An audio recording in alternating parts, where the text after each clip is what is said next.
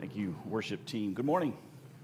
It's good to see everybody this morning. I want to welcome you to our service. Those of you who are worshiping with us online this morning, thanks for, for being here with us. I just want to remind our online folks every now and then I do this, just remind you if, if there's a glitch. We had a glitch a couple of weeks ago where our internet was completely down.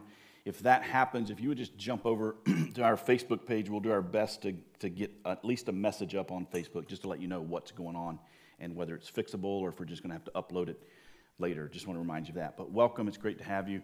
It's great to have everybody here who's in the blue seats with us in person today. Uh, and if you're a first time guest or maybe you've been a guest for a little while uh, checking us out, just want to welcome you uh, to our service this morning. Thank you for being here. There is a connection card in the seat pocket in front of you if you're a first time guest or maybe you haven't filled one of those out if you've been coming for a little while.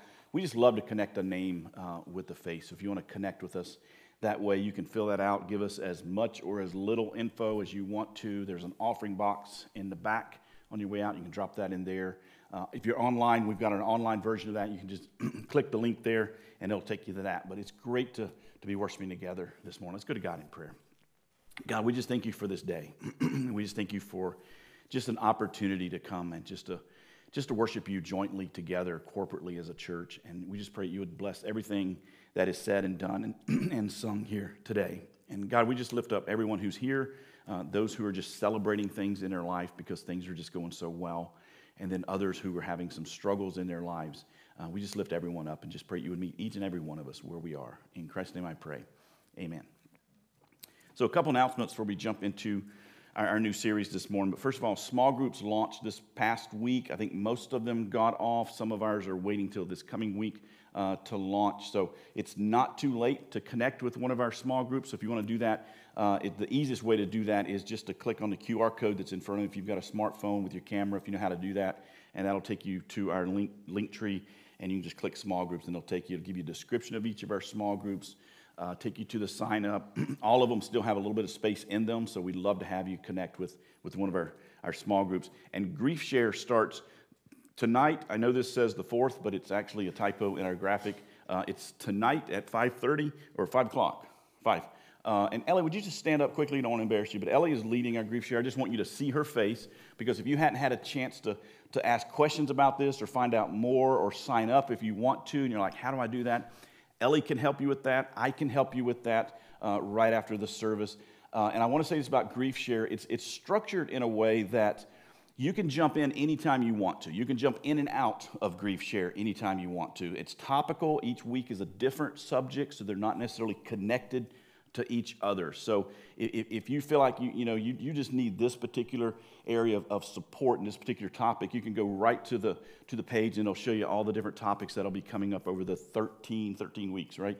Um, so, so that's, that's something unique about it. It's a little bit different than our other small groups, is that it's kind of you can jump in and out of if you need to. So even if you don't start with them tonight, but you want to start later, uh, or if your schedule uh, doesn't allow you to start tonight or next week, you can always jump in Grief Share anytime you want to. And we do plan on running this a couple of times a year.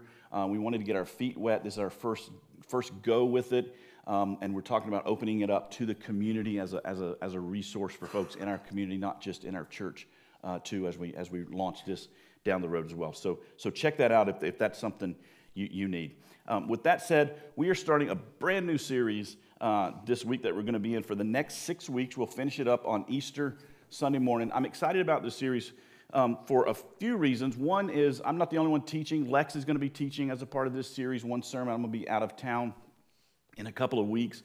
Um, we're also, right now, we haven't worked out the logistics, but we've invited some of the folks from one of the organizations that we've started working with, with um, some of our um, refugee support in the area to come and speak to us about that work and, and some of the next steps we're looking at as a church for getting involved with that. Uh, it, it, it, flows right into what we're going to be talking about with, with, this, uh, with this series. So I'm excited about, about this series. And what we're going to be doing in this series is looking at some of the things that Jesus said as we kind of head towards Easter, as Jesus sort of, sort of headed towards uh, that Last Supper and, and towards Easter. Um, it, it, we, we call them the red letters sometimes, which is where the, the title comes from, because some of you may have a, a Bible, especially if you have a printed Bible, that is called a red letter edition, right?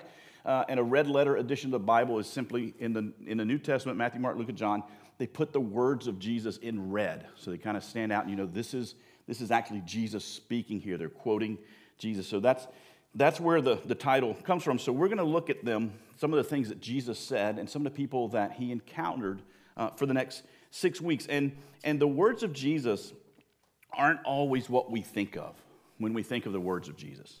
Because the, the words of Jesus sometimes are, are comforting, but sometimes they're kind of jarring. And, and sometimes they're encouraging, and at other times they're very, very challenging. At, at times, uh, Jesus' words are gentle, and then sometimes they can seem just really, really harsh. And so we're going to spend the next six weeks looking at some of these red letters, some of these words of Jesus, and the people that, that he encountered who were just struggling to understand how, how do I be a follower of Jesus? And, and how does that relate to us as, as we struggle with how do we follow Jesus? So today we're going to look at a guy in Luke chapter 10. So if you've got a Bible and you want to flip to that, if you've got a phone or an iPad, and open that up. If you're online, you can go to any of those online resources. If you don't have any of that, don't worry, we'll put everything up on the screen for you this morning. But we're looking at this guy in Luke 10, and he was a lawyer. And the fact that he was a lawyer also meant he was a religious leader because their law was completely connected to the scriptures, the first five books of the Bible. And, and this lawyer, his issue that he's trying is, is, is basically that, that he's trying to place some conditions on his love. He, he, he's trying to, to place some condition on the love that he shows other people. He's trying to actually limit who he loves and who he shows love to. And just like a good lawyer, he's looking for some loopholes in the law, right? So, so here's what Luke tells us happens. It says, On one occasion, an expert in the law stood up to test Jesus. Teacher, he asked, what must I do to inherit eternal life? And, and, and when he asked that question, he was basically asking Jesus, Jesus, what is the minimum? What is the minimum requirement to get into heaven? What, what is the, what's the minimum requirement for me to stay on God's good side? And, and that's just, that's not, doesn't make him a bad person. That just makes him human, right? I mean, at some point, we've probably all done that, or we've known some people who have done that. You know, what do I have to do to make sure I'm good with God and God is good with me? Kind of a typical human thing. And Jesus answers this guy's question by, by asking a question, which was very, very typical in those days. This was typical within the Jewish culture that Jesus lived in, that, that rabbis, this is just how rabbis taught.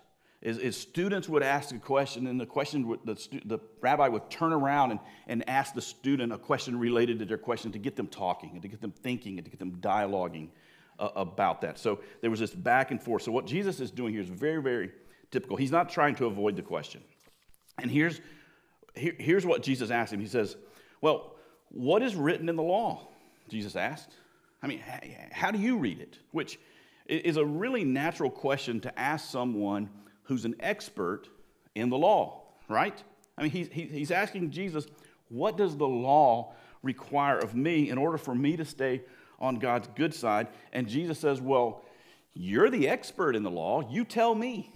You're the one that studied this. You know this. You're an expert in the law. You tell me, how do you read the law? And, and the experts in the, in the law in those days, they had basically, what they had done is they had summarized all of the laws. Because in the Old Testament, there were hundreds and hundreds of laws, hundreds of them, and, and just tons of laws. And so the experts of the law, they, they had basically summarized all of those hundreds of laws into two main laws that were basically a combination of two Old Testament scriptures Deuteronomy 6 5 and Leviticus 19, verse 18. You can look those up on your own sometime if you want to, but, but one of them, one of those verses, they talk about loving God with all your heart, mind, soul, and strength. And the other verse talks about loving your neighbor. And, and so the lawyer, he answers Jesus' question by giving him basically the same answer that most experts in the law would have given Jesus. He says this Love the Lord your God with all your heart, with all your soul, and with all your strength, and with all your mind, and love your neighbor as yourself. Those are those two Old Testament passages combined, boiled down the law. And, and Jesus answered him, You have answered correctly. Do this, and you will live. Now, the lawyer at this point is faced with a, with a dilemma. Because even if, you, even if you summarize these hundreds and hundreds of Old Testament laws down to these two kind of big laws of, of love God and, and love your neighbor, it's still a pretty large order, especially the love your neighbor part. And, and for this guy, loving your neighbor just can't mean loving everyone because, because there's clearly some people in this guy's life that he doesn't want to love. This guy doesn't want to, to love. Uh, there are some people that, that he doesn't maybe, maybe doesn't think deserve his love. So, so there has to be some limitations to this. Like I said, he's trying to figure out what's the minimum I can do and what are the loopholes in the law. So he asked Jesus kind of a follow up question, and this is his follow up question. He asked, but he wanted to justify himself. So he asked Jesus, and who is my neighbor? And, and, and Jesus, Jesus, who is my neighbor? Who do I have to love? You know, if, if I want to if I want to follow God, if I want to be good with God and God good with me, who do I have to love? And, and like so he so often does, Jesus Jesus answers this question with a story, which again was very typical in this culture. And here's the story Jesus tells. a man was going down from Jerusalem to Jericho when he was attacked by robbers. And they stripped him of his clothes, beat him, and went away, leaving him half dead. A priest happened to be going down the same road, and when he saw the man, he passed by on the other side. So too a Levite, when he came to the place and saw him pass by the other side. But a Samaritan, as he traveled, came to where the man was, and when he saw him, he took pity on him. He, he went to him, and he bandaged his wounds, poured on oil and wine, and then put, him, put the man on his donkey, brought him to an inn, and took care of him. And the next day, he took out two denarii and gave them to the innkeeper. And here's what he said Look after him, and I will, when I return, I will reimburse you for any extra expense that you may have. So, what does this story that Jesus told teach us about being followers of Jesus? What does it, what does it teach us about living out the gospel, the good news of Jesus? Because that's what we're called to do. What does it teach us? Uh, not about just proclaiming the good news of Jesus, but, but actually living out the good news of Jesus. First, I think it's, it's teaching us this that, that following Jesus, living out the gospel, is incredibly practical. It's just incredibly practical. When the Samaritan finds this guy on the side of the road, he doesn't do anything, at least on the surface, at least that we're told in the story, he doesn't do anything that looks spiritual, right? I mean, think about it. He, he doesn't pray for this guy.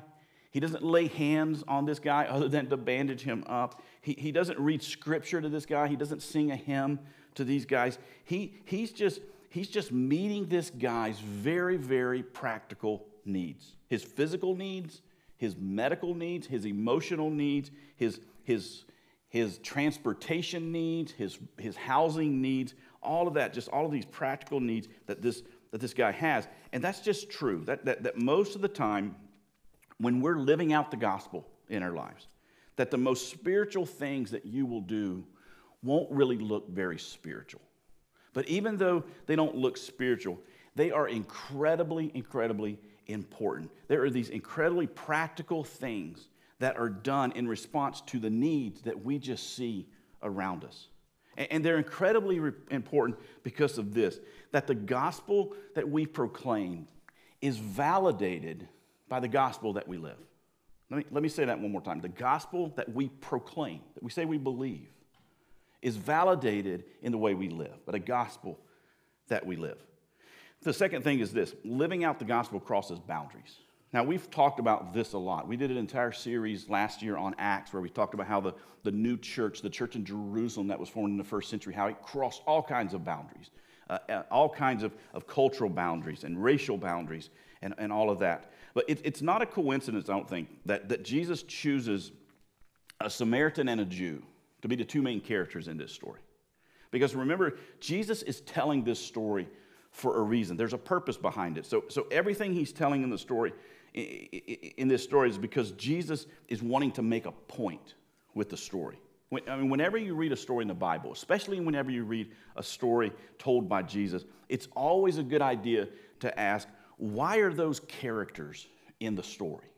Why are those characters in the story? And why are those characters placed in the story the way that they're placed in the story? So it's not a coincidence that Jesus chooses a Samaritan and a Jew to be the two main characters in the story because they hated each other. These two groups of people hated each other. They had a long, long history of, of hating each other. I mean, they even went so far as to avoid walking through each other's territories. Even if the shortest distance between where they needed to go was through the other one's territory, they would walk all the way around it just to avoid seeing them and potentially bumping into them. They just, they just hated so they're, they're, each other. There was this, such bad history between these two groups. And for this Samaritan, for this Samaritan to help this Jew who had been robbed, who'd been beaten, who'd left, been left for dead on the side of the road, it would have required him to cross all sorts of racial and religious and historical boundaries. And, and it's a reminder to us that that's just what love does, that, that love crosses all kinds of boundaries. As, as, as, and as followers of Jesus, you and I, you are called to love people who look different than you. You're called to love people who have a different world view than you, who, who come from a different religion than you. You're called to love people who behave different than you. You're called to people love people who vote differently than you. And, and, and it, doesn't, it doesn't mean right up here that, that we endorse everything that we love, right? It doesn't mean that we, we endorse everything we love because God's love extends infinitely beyond what He endorses, right? God's love extends infinitely beyond what He endorses. God, God's love has no end. God's, God's love and grace and compassion, it, it's not limited or it's not conditioned on anything. And if we're committed to living out the gospel, if we're serious about not just proclaiming the gospel, but actually living it out, it, then we will show that same kind of unconditional love and compassion in our own lives to the people around us. So the gospel is incredibly practical. Uh, and, and living out the gospel crosses all of these boundaries. And then, third, living out the gospel is risky. Again, Jesus puts these characters in the story, and he puts them, he puts them on a particularly dangerous part of this road between Jerusalem and Jericho. And as he's telling this story, he's probably envisioning, or the people that are hearing this story were probably envisioning a place called that was called the, the Pass of Blood. Uh, and, and, and the reason it was called the Pass of Blood is because this particular stretch of road, it contained these hills that had lots of caves in them. And so they were just great places for people to hide out. And, and, and they would jump out and they would, they would rob people. And so as a result of that, lots of people got robbed along this way. They got beaten. Many of them even got, even got killed on this dangerous stretch of road called the Pass of Blood. Now, when the priest and the Levite came by, uh, this dangerous stretch of road, and they see this man that's been, he's been beaten up, he's laying here, he's been left, he's been left for dead. We're told in a story that they quickly cross the road and keep going, right? They passed by on the other side. Now, do you know why they did that? Do you know why they quickly crossed the road, passed by, and kept going? Because they're not stupid.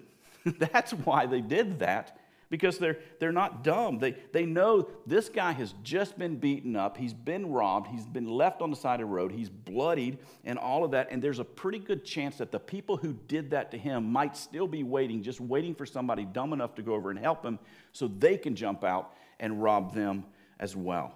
So when the Samaritan stops and helps this guy, he is risking everything. And when he takes this guy that, that he doesn't even know, and, and, and it's not even connected to religiously or culturally. In fact, there's bad blood between the two sides. When he takes this guy to an inn and, and he says, and I'll pay for it, I'll cover it, I'll take care of all the expenses that he has while this guy recovers here, he's willing not only to, to take a risk, but he's willing to sacrifice something as well. Now, what would motivate him to do that? We're going to get to that in, in just a minute, but before we do that, Jesus wants us to know what doesn't motivate this guy. Jesus wants to make sure we know what doesn't motivate this Samaritan. And what's not motivating him is a sense of obligation or feelings of guilt.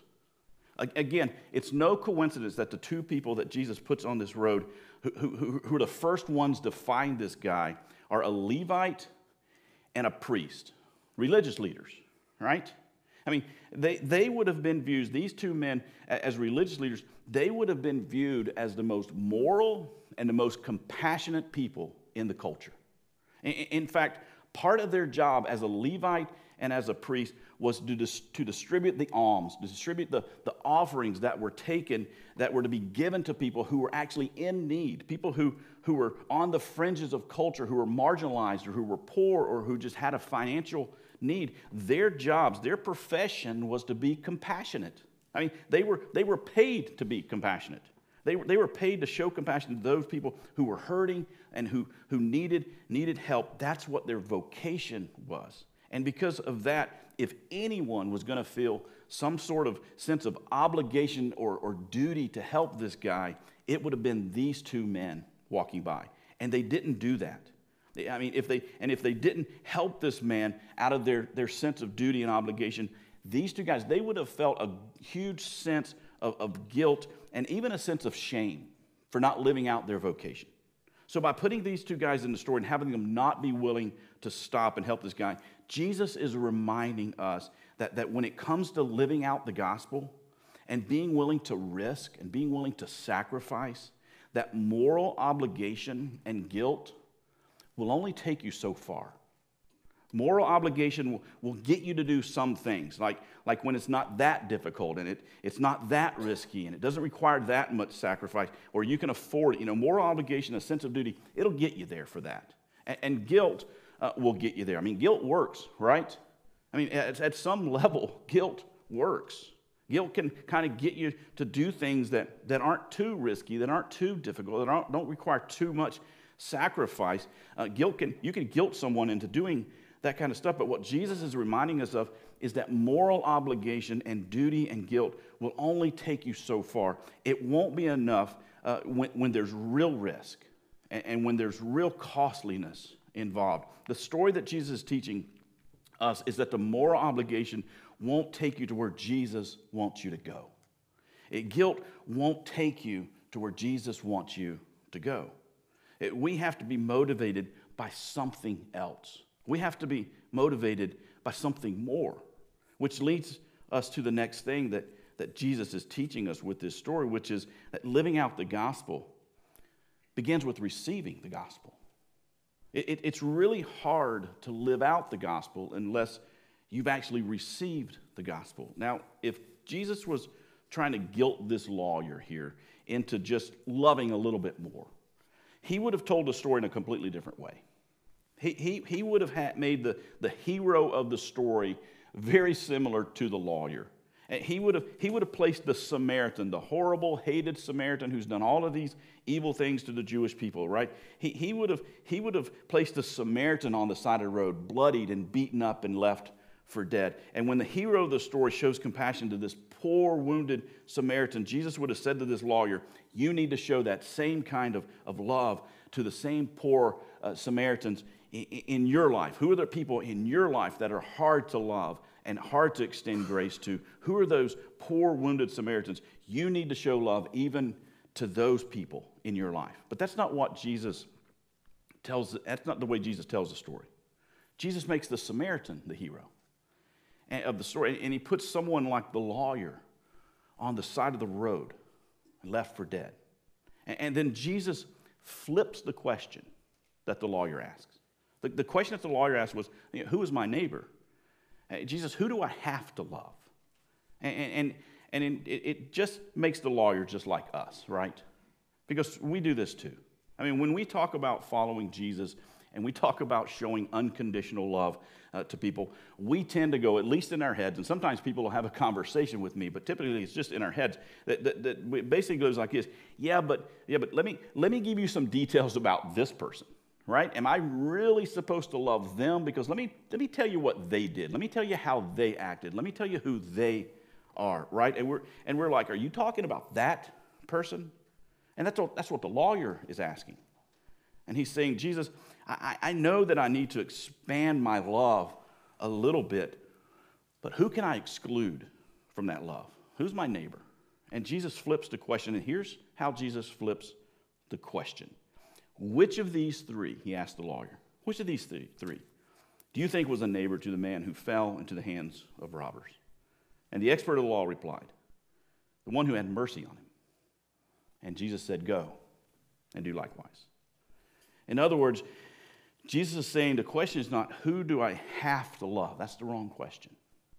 The question is if, if I was the one who was beaten up, if I was the one who was bloodied and left on the side of the road, who would I want to love me?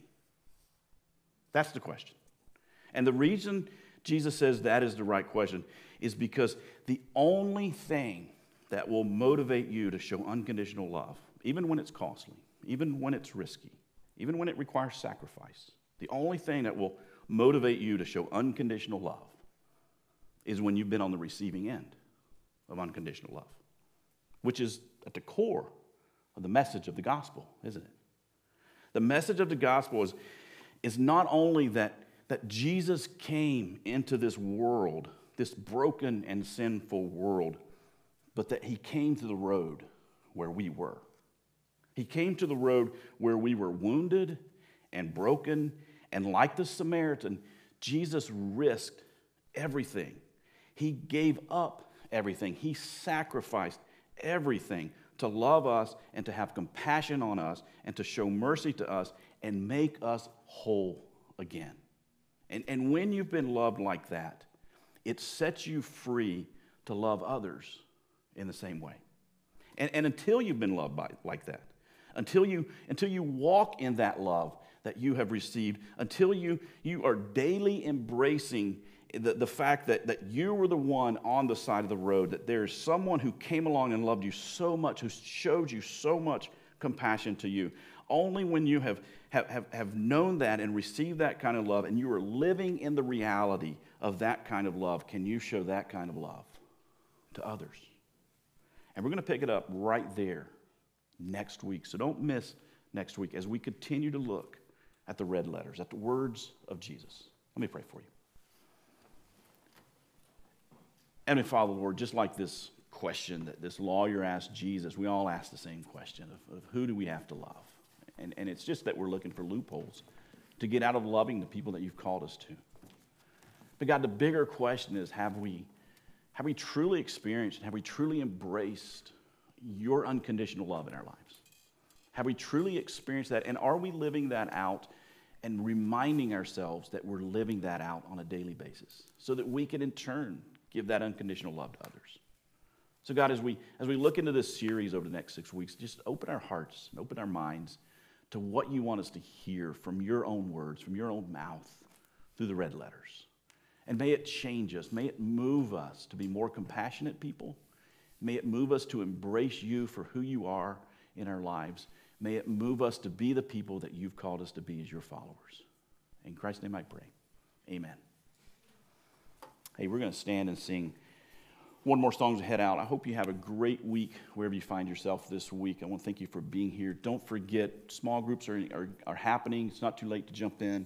Uh, Grief Share starts tonight. We'd love to have you participate in that if that's something you need in your life right now. Um, let's stand and sing one more time.